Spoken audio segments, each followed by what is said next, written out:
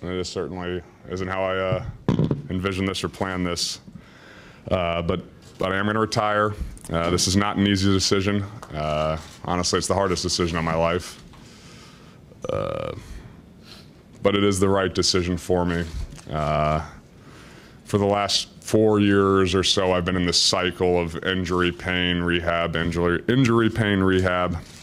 And it's been unceasing and relenting, unrelenting, both in season, both in and off season.